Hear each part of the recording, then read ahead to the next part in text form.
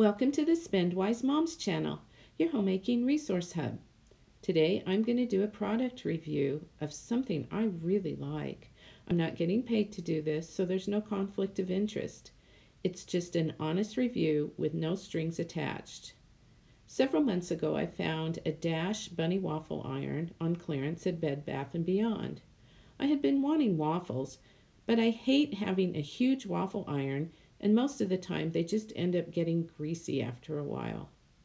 I had a coupon on top of the clearance sale price, so I took a chance and bought it. Little did I know that I would absolutely love the waffle iron. We have had a lot of company this past summer, and kids love bunny waffles. We made them with whole wheat flour or 100% rye flour, and they still ate them without complaining a bit. It's amazing what a little bunny can do.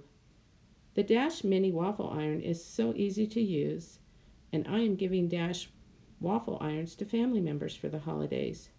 You mix up your pancake or waffle dough and put in one fourth of a cup of dough for each waffle. It makes a sound when the waffle's done. I'm using 100% rye flour with some ground flax in it for this video, so it may look a little different in the color. Aren't these waffles just adorable?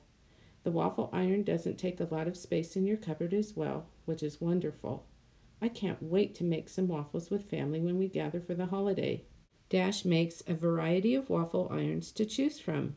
We got the gingerbread ones for some family members as Christmas is around the corner, and we got a spider web waffle iron for some cute little boys in the family that love Spider Man.